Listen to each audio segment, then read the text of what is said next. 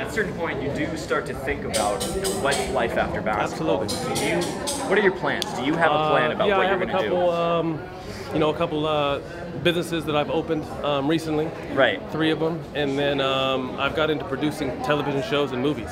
Really? So that'll be my next step. Um, You're going the Hollywood route, man. right. You, not not in front. I, I've done enough time in front of the camera. I want to be behind the camera. Yeah, absolutely. Um, you know, want to direct? I All I want to do is direct, right? direct, direct, produce, that kind of thing. do, you, do you know what kind of uh, projects work We're all on? over the place. We have scripted television shows that we're working on. We have Yeah. um, documentary series we're working on, and then we're also working on a couple movies. So we're kind of all over the board with that. That's awesome. Hey, you know, Kobe. Kobe's getting into that. Yeah. He's got. You know, are you going to team up with we Kobe? talked, you know, we actually talked. You know, I, No I, I told him that was, you know, early on when we played together. That's what I wanted to do when I was done, and you know, him. You know, he's very talented and Absolutely. You know, probably got his hands, and I'm sure he's gonna be great in it as well. So we got a potential business partnership on our hands. Yeah, we'll see. You know, me and Kobe are cool, so we'll see if down Yeah, the line yeah. it works. It works.